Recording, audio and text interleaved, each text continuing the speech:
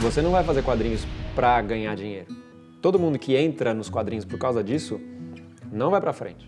Acho que uma coisa que une todos os quadrinistas é porque eles gostam muito daquilo, independente se aquilo paga as contas ou não. No fundo, no fundo, essa pergunta sempre vai existir, se dá para viver de quadrinhos, mas ela não pode ser o norte, ela não pode ser o guia das histórias que você vai contar e da sua vontade de contar quadrinhos.